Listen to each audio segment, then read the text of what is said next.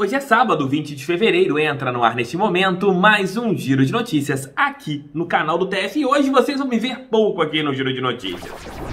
Trouxe dois especialistas em chamusca, em Marcelo Chamusca, novo técnico do Botafogo. Um que acompanhou a carreira dele desde o início, que é meu amigo Dudu Damasceno, do Bora Leão, maior canal do Fortaleza aqui no YouTube. Maior, gigante o canal do Bora Leão, gigante, gigante. Além dele, o repórter Pedro Lima, que acompanha a equipe do Cuiabá pelo site Olhar Esportivo, também vai falar sobre a última passagem que o técnico teve pela equipe lá do Mato Grosso. E vai trazer todos os detalhes deste técnico. Vamos saber o olhar de outras pessoas aqui, porque é sempre bacana, né? Porque eles acompanharam de perto o Marcelo Chamusca.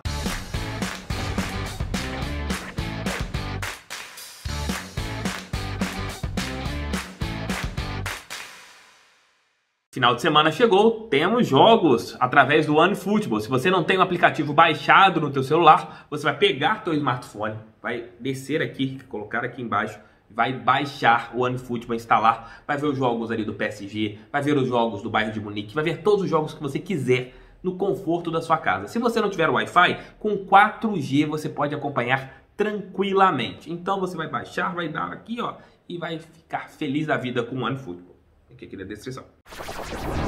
Já peço, moralzinha, deixa o like, inscrevam-se, compartilhem e mandem em seus grupos do WhatsApp. Estamos indo aí para 125 mil inscritos. De repente a gente consegue bater essa marca ainda nesta semana. Trabalho sério, honesto, que eu faço aqui para trazer o melhor conteúdo para vocês que curtem o Botafogo de futebol e regatas. Outro detalhe, dê uma moral também para falar muito TF, link aqui na descrição, tem vídeos novos lá todos os dias e semana que vem o canal vai fazer uns testes lá. Acho que a galera que gosta de futebol vai curtir, porque eu vou fazer ali uns, uns esquemas, uns trem doido lá no canal novo, hein?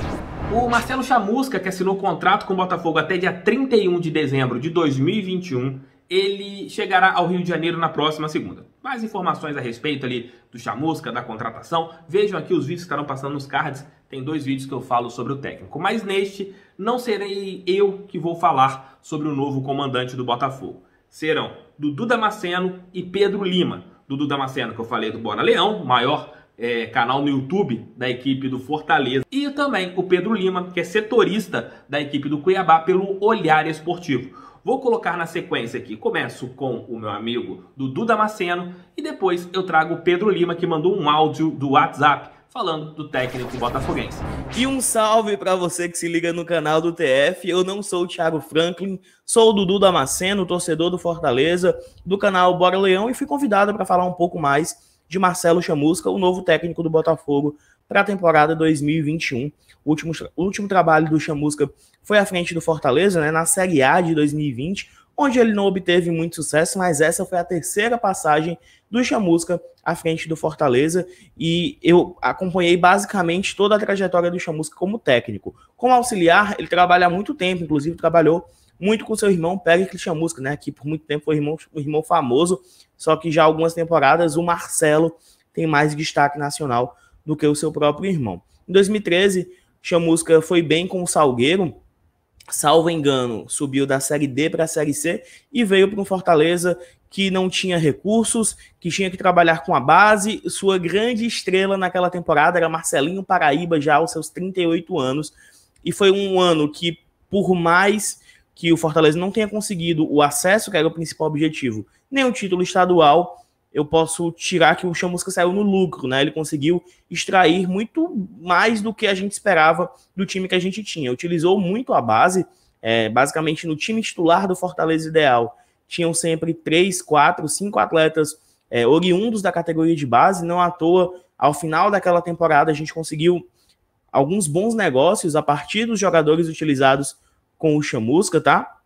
Essa foi a primeira passagem do Chamusca. Ele acabou indo para o Atlético Goianiense em 2015, não deu certo e voltou. Sim, o Fortaleza tem esse histórico né, de vai e volta de treinador. Em 2015 ele já voltou um pouco mais maduro, manteve a estrutura tática que já adotava em 2014, um 4-2-3-1, é assim que ele trabalha até hoje, mas já em 2015 conseguiu é, o título cearense, conquistado aos 47 do segundo tempo, aquele título da música do Cassiano, que talvez vocês conheçam, e Continuou aqui porém não conseguiu o principal objetivo, que era o acesso, e ele ficou muito estigmatizado dentro da torcida do Fortaleza por ser o famoso pipoqueiro, né, de não se dar bem em torneios mata-mata. Quando era na fase classificatória, tanto no Cearense, quanto ah, na Copa do Nordeste, quanto na Série C, que o Fortaleza jogava naquele momento, o Chamusca ia muito bem, porém não tinham controle do vestiário, por muitas vezes era isso que transparecia nos momentos decisivos de mata-mata. Depois disso, Chamusca passou por Guarani, conseguiu um acesso da Série C para a Série B, conseguiu fazer outros trabalhos, até chegar em 2017 ao rival, jogando novamente uma Série B, e conseguiu o acesso da Série B para a Série A, né? De 2018, foi ele que levou o Ceará para a Série A nessa última passagem dele por lá, né? Na passagem dele não, né? Nessa última é, ida, de, tentativa de acesso, né? Já que ele é tão estigmatizado por não conseguir. Conseguiu, mas peguem o detalhe, né? Num campeonato de pontos corridos. Mas pontos corridos é o que vale pra gente, né? A gente se preocupava muito, pelo menos o torcedor do Fortaleza se preocupava muito em mata-mata, porque era o inferno que a gente estava naquele momento. Enfim, Chamusca continuou no rival em 2018 para disputar a Série A e foi muito mal. Naquele início pavoroso do Ceará e não conseguiu conquistar nenhuma vitória. E teve que se remontar mais uma vez na sua carreira e vinha fazendo uma, um grande ano de 2020 com o Cuiabá. O Cuiabá este que subiu para Série A, né? O Chamusca foi, é, participou ativamente desse projeto desde 2019, estava à frente da equipe, que conseguiu acesso agora em 2020, e ele retornou ao Fortaleza, né? Na, no começo do segundo turno do Campeonato Brasileiro para substituir Rogério Ceni, que havia deixado o Leão. Pegou uma equipe bem ajeitada, bem, bem colocada, inclusive, e sua sina de não conseguir bons trabalhos na Série A continuou. É, o Marcelo Chamusca conseguiu apenas uma vitória, por ironia do destino, contra o próprio Botafogo e acabou sendo demitido para a chegada do até então é, técnico do Fortaleza, Enderson Moreira. O que eu posso falar né, de, do Chamusca para vocês, né, um veredito é um bom treinador, talvez não maduro o suficiente ainda para uma Série A, que não será a realidade do Botafogo em 2021. Um treinador que gosta de utilizar o 4-2-3-1 predominantemente, é até uma teimosia dele, tá? E tem uma variação, nem sempre com o meia sendo um articulador, às vezes o meia se tornando quase que um segundo atacante e colocando os dois pontas para marcar muito, tá?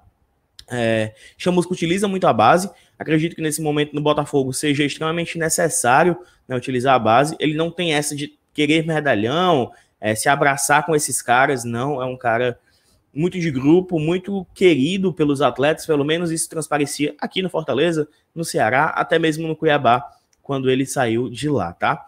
Mas, enfim, desejo sorte ao Chamusca, não deu certo no Fortaleza nessa sua terceira passagem, né, em Série A dessa vez, mas desejo sorte e acredito que possa ter sido um bom nome para o Botafogo nesse momento. Beleza? Falei muito não? Se você quiser me acompanhar mais, se você quiser mais notícias sobre o Fortaleza, eu gosto de acompanhar notícias de outros times. Me segue, se inscreve aqui no YouTube no Bora Leão. Beleza? Então é isso, rapaziada.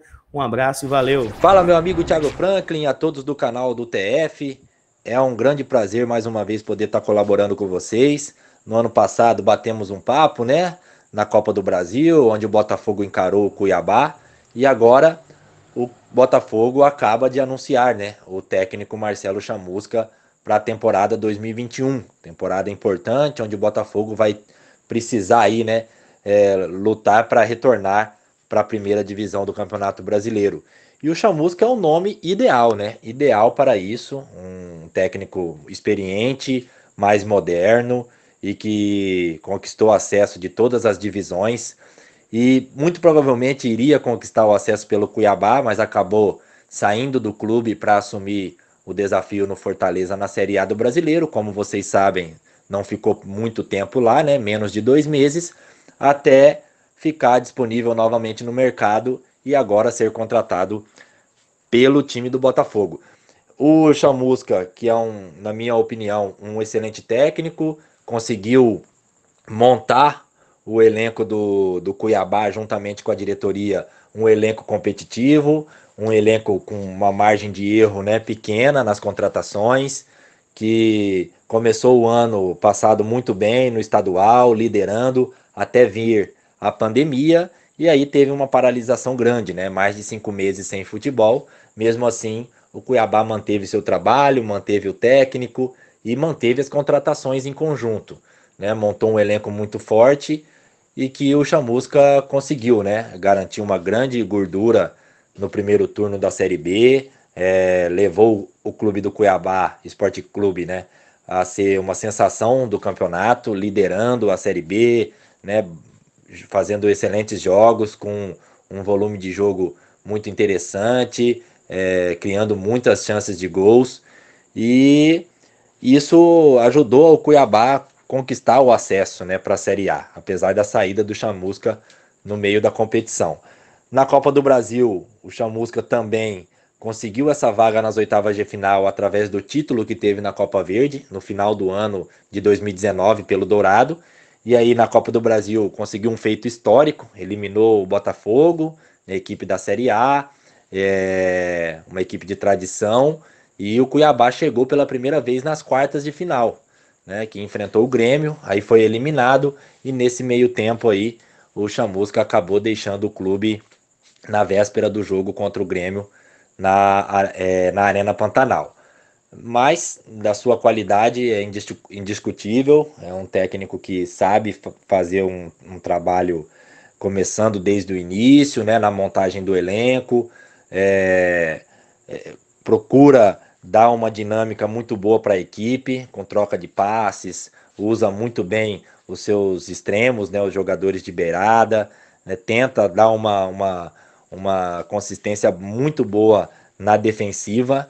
Foi assim que o Cuiabá conseguiu criar uma grande gordura né, no primeiro turno. E aí, mesmo com a mudança de técnico e várias outras dificuldades, o Cuiabá manteve aí o seu sua competitividade no fim da competição, no comando do técnico Alan Al, que agora está no Guarani, e buscou o objetivo maior do clube no ano, que era o acesso para a Série A. Então eu desejo boa sorte aí ao Botafogo, ao Chamusca, nessa temporada 2021. Acredito que o Alvinegro acertou na contratação. Um forte abraço aí do Pedro Lima aqui do site Olhar Esportivo, direto de Cuiabá, para o canal do TF. Rapaziada, obrigado. A casa está sempre aberta aqui para vocês. Bora Leão, Olhar Esportivo, curtam lá, bem bacana as duas plataformas. Valeu, galera. E aí, curtiram o que eles falaram a respeito do novo técnico botafoguense?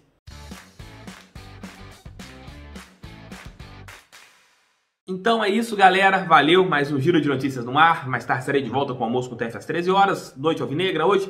Cedo às 19 horas e provavelmente sem notificações. Então prestem atenção, cheguem mais cedo aqui no canal. Beijão, tchau, tchau e fui!